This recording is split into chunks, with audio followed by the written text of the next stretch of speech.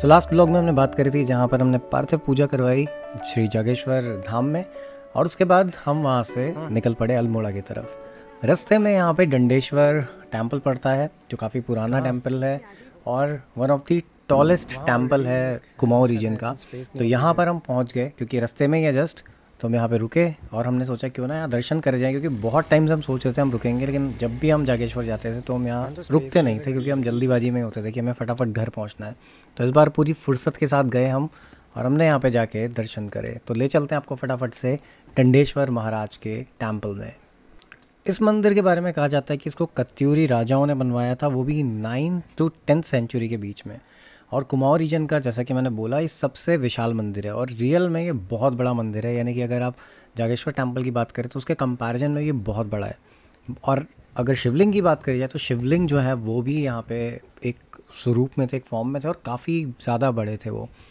क्योंकि अंदर की वीडियोग्राफी या फोटोग्राफी करना अलाउड नहीं है नॉर्मली तो मैंने उसी चीज़ को पालन करते हुए मैंने नहीं क्लिक करी फ़ोटोग्राफ्स बट अगर आप यहाँ पे कभी जाएँ तो आप ज़रूर जाइएगा और आप देखिएगा।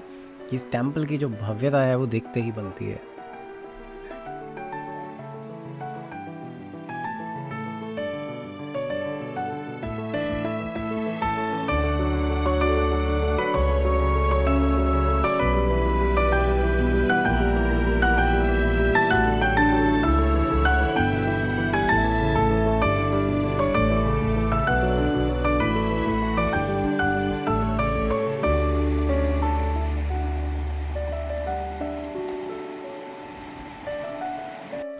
तो कुछ देर यहाँ पे गुजारने के बाद हम अगेन निकल पड़े हल्द्वानी की तरफ़। रास्ते में जैसा कि मैंने आपको बताया था, पिछले ब्लॉग में आपने देखा होगा, घंटी वाला टेंपल या फिर जो गुलजू महाराज हैं, उनका टेंपल तो रास्ते में हम सबसे पहले रुके वहाँ पर।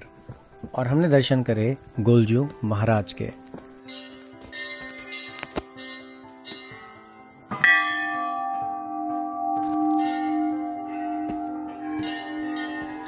टेंपल का जो एंट्री गेट है, जिससे हमने एंटर किया, वो बैक साइड वाला है। फ्रंट साइड वाला और ज़्यादा बेहतर और बढ़िया दिखता है।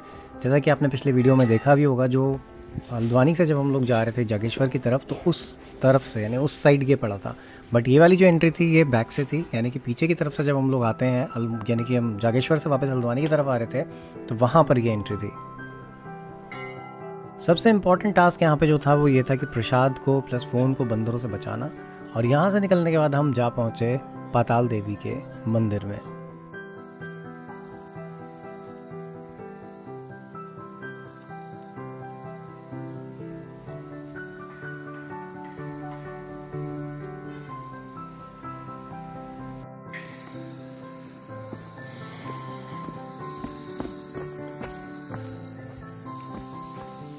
हम एक्सप्लोर कर रहे हैं एक नई जगह, क्योंकि हम बहुत बार अल्मोड़ा आए, लेकिन हमने कभी पाताल देवी टेंपल के बारे में नहीं सुना था।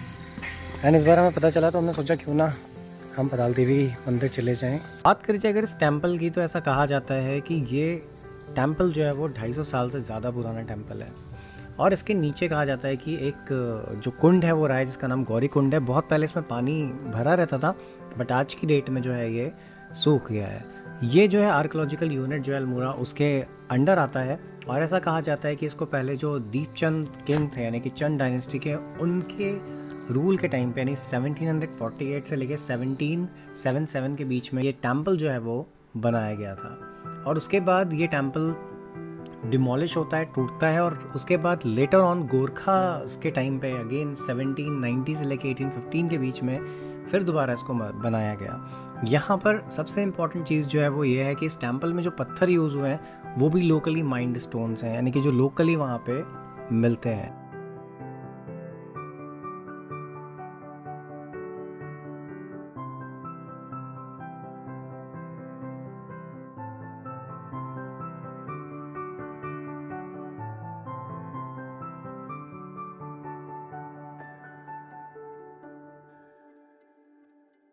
सो काफ़ी देर तक हम यहाँ पे घूमे। हमने इसके चारों तरफ़ घूम घूम के बहुत अच्छे से इसको निहारा, देखा और इन्जॉय किया।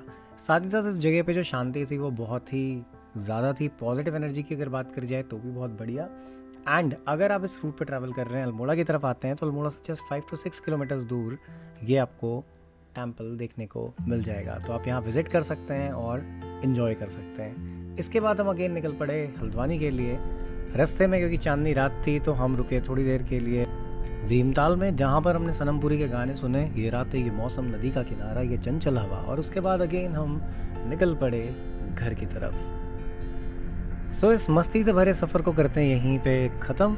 आज के ब्लॉग में इतना ही। मिलेंगे फिर कभी किसी और ब्लॉग में। तो अगर वीडियो को आपने यहाँ तक देख ही लिया है तो फटाफट से चैनल को कर लीजिए सब्सक्राइब, क्योंकि बहुत सारी इन्फॉर्मेटिव एंटरटेनमेंट वाली वीडियोस आपको आगे भी मिलती रहेंगी। Thanks for watching the video